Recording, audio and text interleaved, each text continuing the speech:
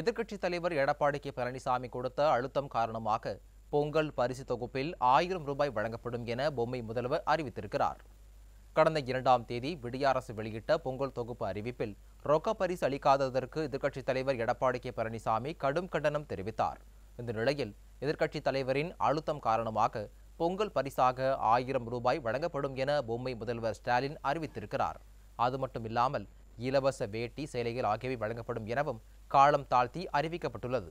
இதனிடையே பொங்கல் தொகுப்பில் விடப்பட்ட உலர் திராட்சை முந்திரி ஏலக்காய் ஆகியவற்றை சேர்த்து வழங்க வேண்டும் என பொதுமக்கள் வலியுறுத்தியுள்ளனர்.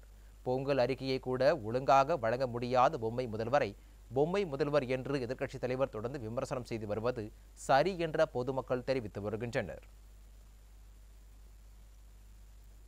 பொங்கல் பரிசு தொகுப்புடன் ஆயிரம் ரூபாய் பணத்தை சேர்த்து வழங்குமாறு விடியா திமுக அரசை வலியுறுத்தி